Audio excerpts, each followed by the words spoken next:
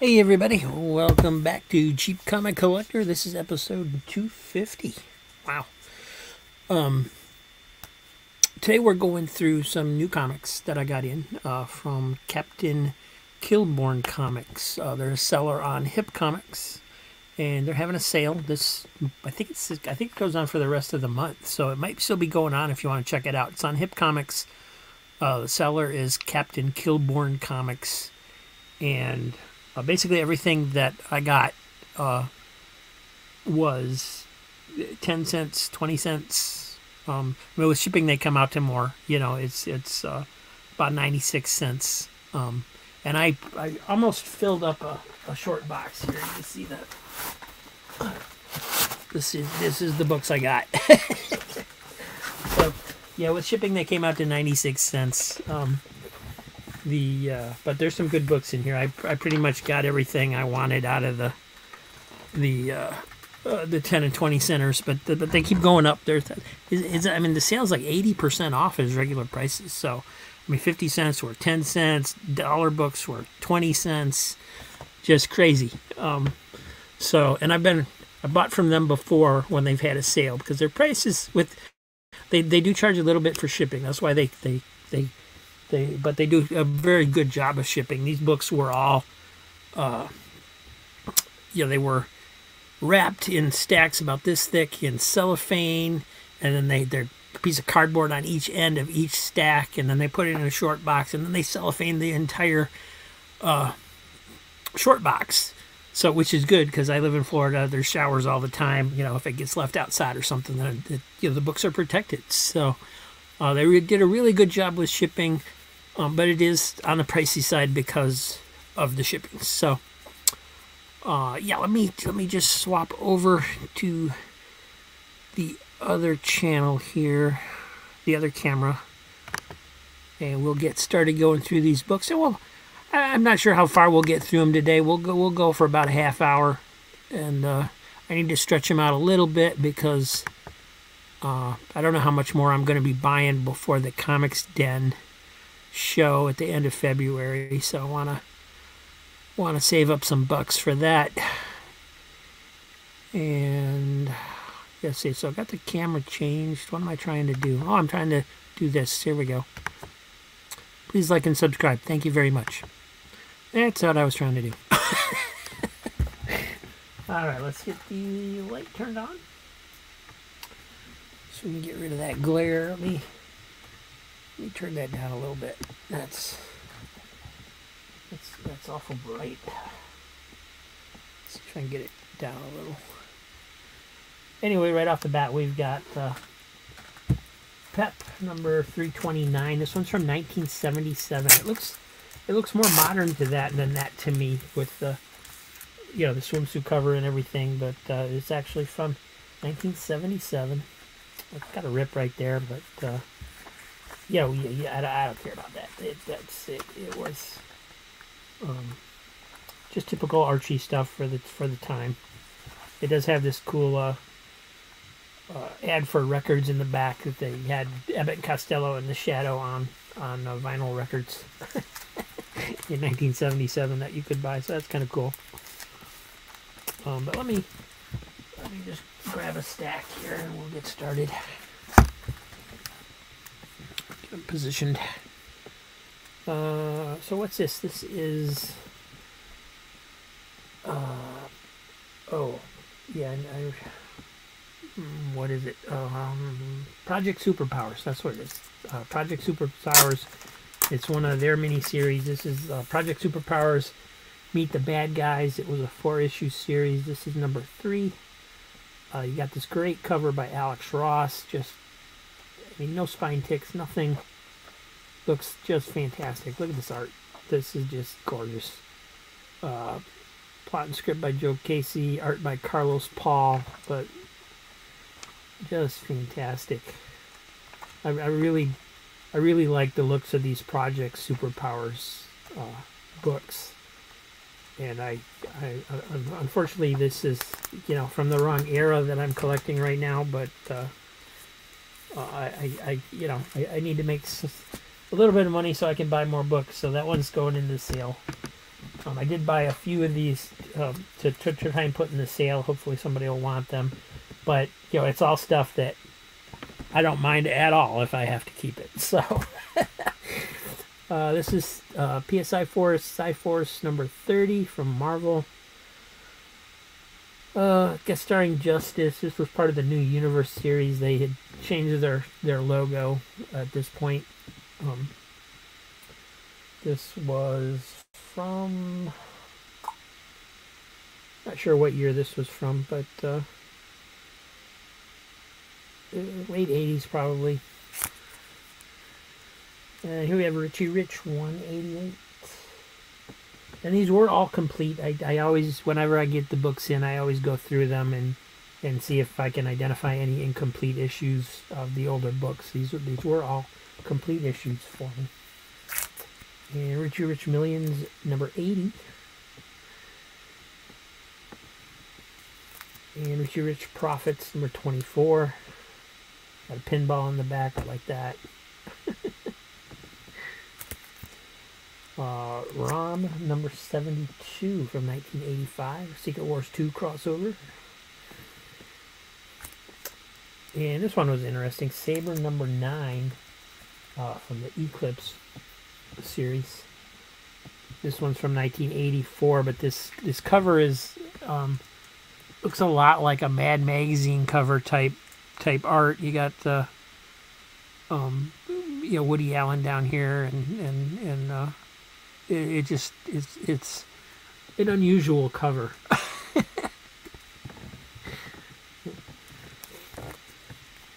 uh, I got Showcase 93, uh, number 4 with Catwoman, Geoforce, and Blue Devil.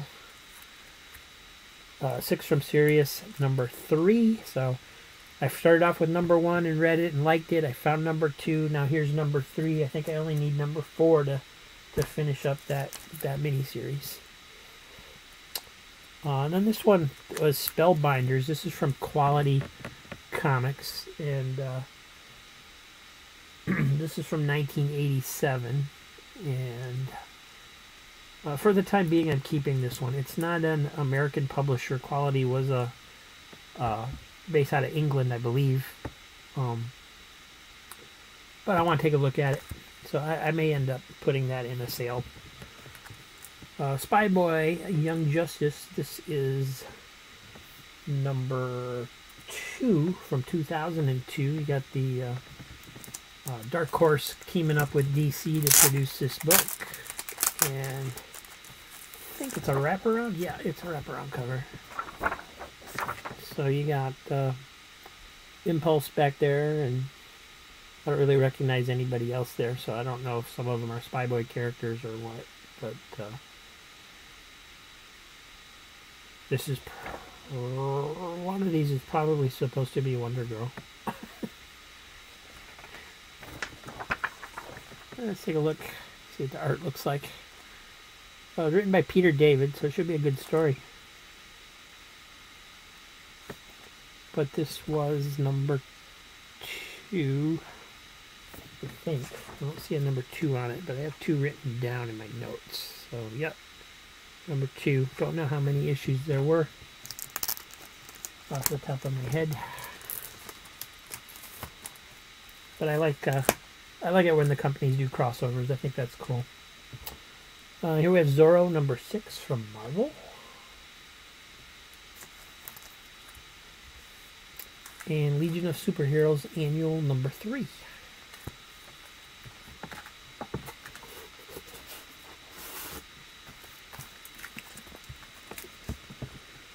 And we have the Legionnaires number two from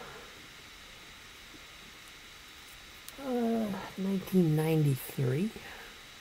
And yeah, that looks like a really nice copy too. No spine ticks or anything in that one. Uh, here's Legionnaires 3, number 1. This is this was a miniseries from 1986 that just featured the original three Legionnaires, Cosmic Boy, Lightning Lad, Saturn Girl. Uh, it was a four-part series. And I think we've got a couple of the issues in here. I think, I, yeah, there's there's number two. So I got one and two.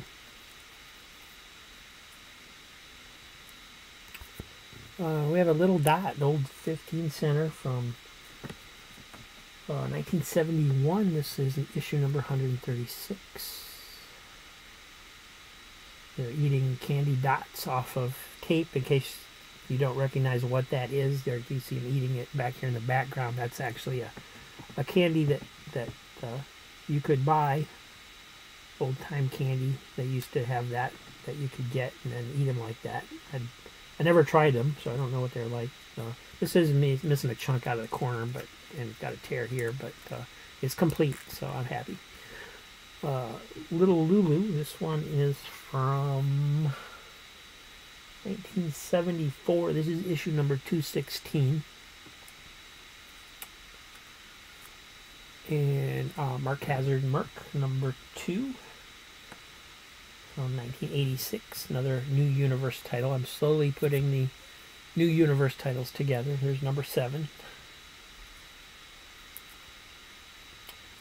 and Marvel Comics Presents number 31. This one's from 1989 and it's in pretty good shape. This one caught my eye because of uh, the Looney Tune characters down here in the corner. You can see the, um, you know, they're not, you know, a version of the Looney Tune characters. They got uh, Bugs Bunny, Yosemite Sam, Daffy Duck, Foghorn Leghorn, Roadrunner, and I guess the green guy's probably Porky Pig. But uh, so those caught me eyes, my eye, because it's uh, you know, a version of the Looney Tunes characters that they apparently come across in the multiverse or something. So that should be fun. Uh, I got Micronauts number 32 from 1981, Snare of the Snow Bear. Um, this is a pretty decent copy. It's got the this bottom staples like on the top of the comic instead of in the side, but other than that, other than that missed staple, there's nothing right I can see wrong with this at all. There's no there's no ticks, there's no scratches. It, it looks like somebody just threw it in a bag and it's been there ever since. I don't know if that's the one that's the case or not, but that's what it looks like. Um, I already have this issue, so this will be going into a sale. Um, the pages are kind of yellowed um, a little bit. Let me but not too bad. Not not terrible. It's appropriate for how old it is, probably. But that's a nice looking cover. There ain't nothing wrong with that cover at all.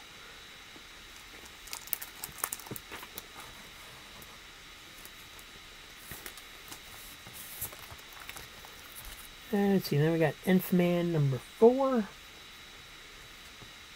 I pick those up occasionally. This one's, I believe I have this one.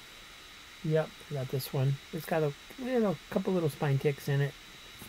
But other than that, uh, it's got some dents in here too. So not perfect, but pretty good. Uh, Pebbles and Bam Bam, number 22. Finding, been finding a couple of these lately. This is from 1974. It was miscut. You can see this line on the bottom. Um, but Charlton wasn't that picky about their publishing process, so uh, that's just kind of the way some of those are. Uh, but love love to get some some some more Flintstones comics. I'd love to find some of the actual Flintstones instead of Pebbles and Bam Bam. But so far they they uh, elude me. Uh, here we have New Titans number 108. This one is from 1989. Uh, it's from the 1989 series. This this particular one's not from 1989. This one is from 94. But it still has Marv Wolfman writing it, so. And we have The Outsiders number 14 from 86. Looker was framed and Halo has braces. It's funny.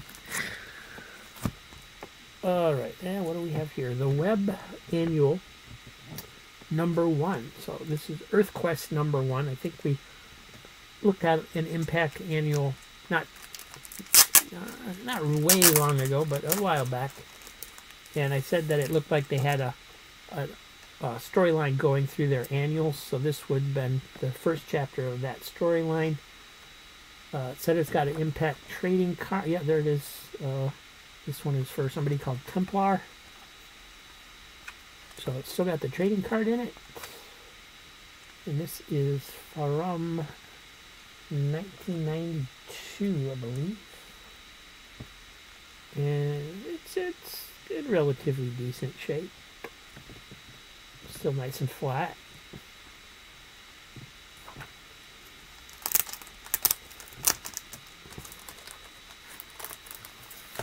And we have The World of Smallville, number two, the 1988 when John Byrne was reinventing Superman mythos. So I think I have all of the world of Krypton. I have all the world of Metropolis, I believe. And now I have two issues of this one. So I only got two more issues to go to complete that uh, trilogy.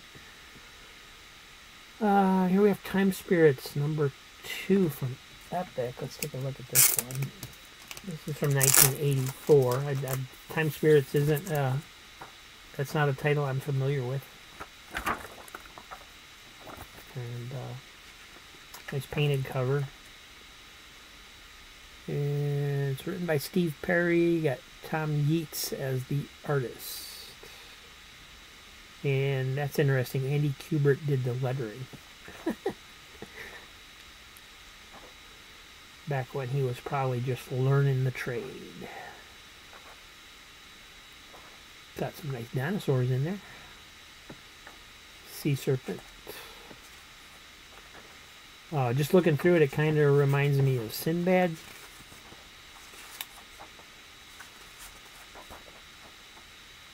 I'm not really sure what the the premise of it is since this is the second issue. Looks cool. Got nice art in it.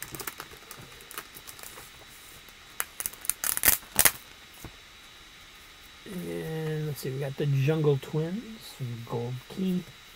This is number 9 from 1974. Got, uh, might have a loose centerfold. Some of the pages are a little hanging out there, but uh, it is all there.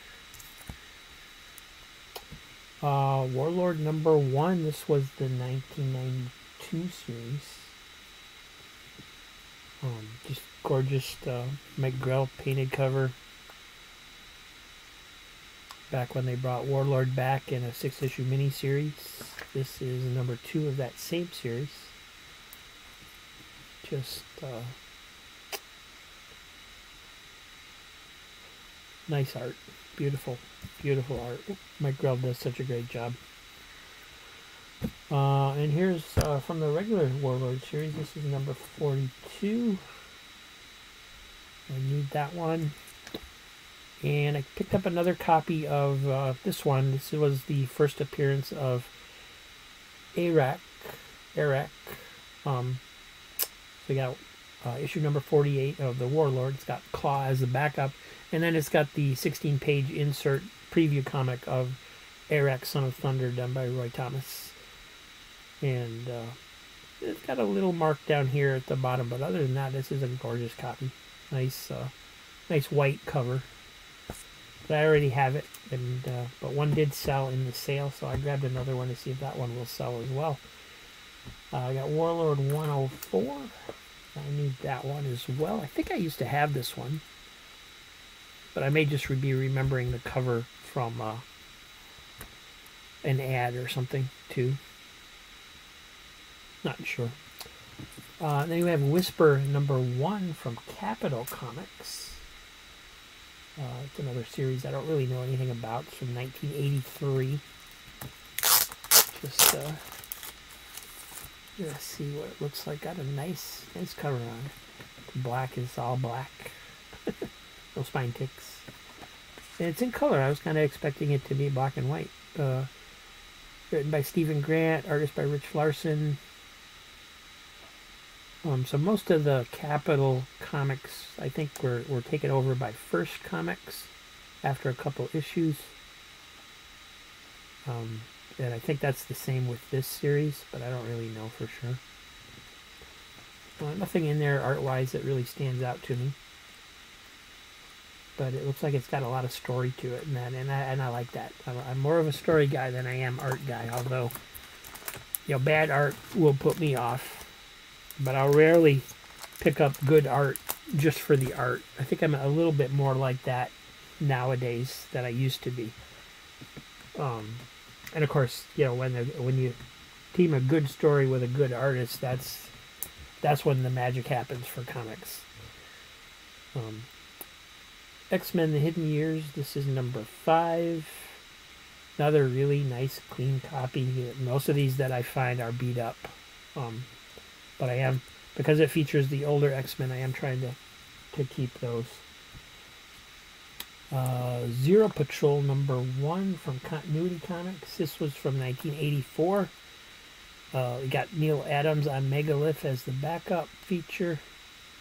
And I already have this, so this is going to go in the sale too. Another nice, really nice clean copy. Just does have this black streak on the bottom, so it may be, it may be miscut. Um,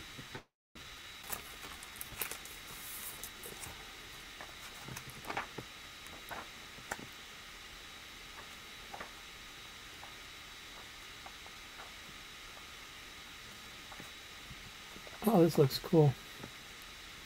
I haven't actually read the copy that I have, so yet. I have so many books I haven't read. I've just been collecting them and sticking them in boxes. Someday. I want to get them all organized by years first before I start reading into the stuff. Uh, let's see, then we got Zorro number two from Marvel. And uh, I keep in the, the two Zorro issues just because they're a little bit beat up. They're not in quite good enough shape for me to sell, I don't think. So I try to only sell stuff that, you know, is in really nice shape for for the age. Uh, Legion Superheroes, this is number 306.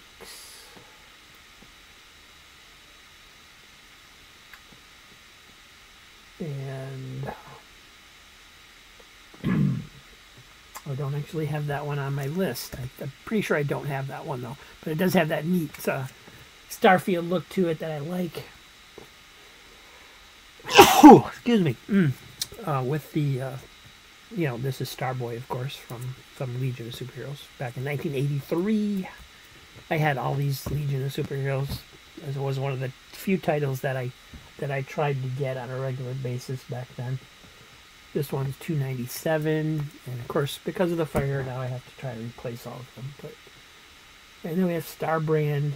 This is the annual oh, from 1987 Star Brand annual number one. Uh, and that's actually about half the box, so it looks like I'm probably only going to get about two episodes out of this box. I was hoping to make it three, but uh, not going to work. so uh, thanks for watching, everybody.